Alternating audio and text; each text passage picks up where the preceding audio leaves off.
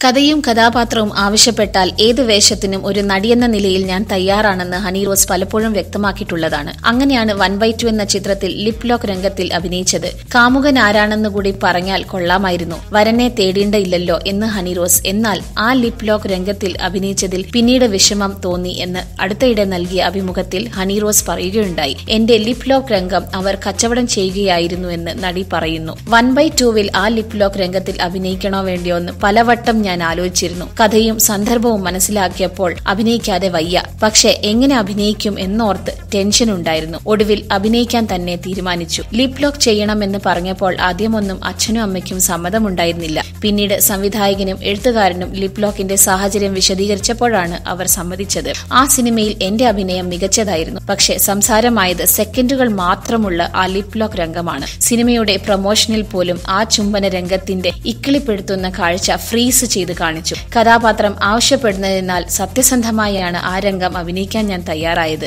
എന്നാൽ പിന്നീട് ആ രംഗം സിനിമയുടെ പ്രമോഷന് വേണ്ടി ഉപയോഗിച്ചപ്പോൾ വിഷമം തോന്നി. ചിത്രത്തിന്റെ പോസ്റ്ററിലും ഹണി റോസിന്റെ ലിപ് ലോക്ക് മറ്റും പലതും എന്ന രീതിയിലാണ് വന്നിരുന്നത്. ഞാൻ വളരെ വൈകാരികമായി ചെയ്ത രംഗം കച്ചവടം എന്ന നിലയിൽ ഉപയോഗിച്ചപ്പെട്ടതിൽ വേദന തോന്നി. സിനിമയുടെ ബിസിനസ് എന്ന രീതിയിലായിരിക്കാം ആ ലിപ് ലോക്ക് രംഗം പ്രൊമോഷനു വേണ്ടി ഉപയോഗിച്ചത്. പക്ഷേ അത് സംവിധായകന്റെ ഭാഗത്തു നിന്ന് വന്ന പ്രൊമോഷനാണെന്ന് ഞാൻ വിശ്വസിക്കുന്നില്ല. എന്തായാലും അങ്ങനെ ഒരു പ്രൊമോഷൻ നടത്തിയത് സിനിമയെ ബാധിച്ചു. കുടുംബ പ്രേക്ഷകരെ ആ പ്രൊമോഷൻ അകറ്റി നിർത്തി ഹണി റോസ് പറഞ്ഞു.